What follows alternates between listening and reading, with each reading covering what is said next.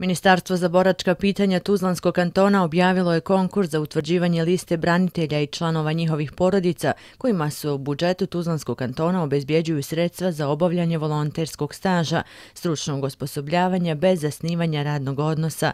Ministarstvo je i ove godine planiralo sredstva u budžetu u iznosu od 700.000 konvertibilnih maraka za projekat obavljanja volonterskog pripravničkog staža za članove porodica branitelja. Pravo na ovaj javni poziv. Mi smo u ponedeljak objavili javni poziv, on je dakle još uvijek u toku.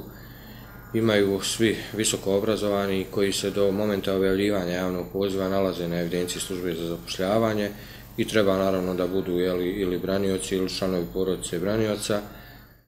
Nakon okončanja konkursne procedure, ministarstvo će objaviti konačnu rang listu kandidata koji ispunjavaju uslove, a potom slijedi javni poziv za poslodavce koji bi angažovali volontere iz reda boračke kategorije.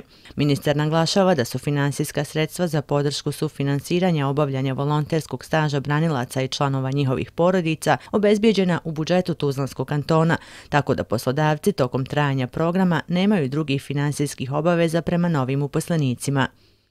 I ove godine su dakle, sredstva ista kao i prethodne godine. Za svakog od ovih kandidata smo mi obezbijedili 200 maraka mjesečno kao naknadu za prevoz, topli obrok, 30 maraka obaveze prema državi.